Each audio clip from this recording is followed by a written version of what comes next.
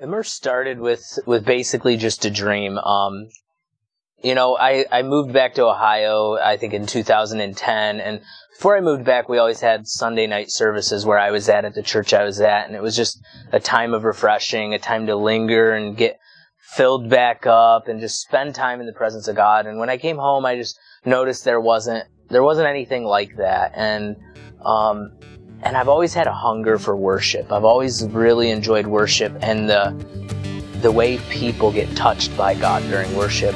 So I thought, well, why can't we do that here?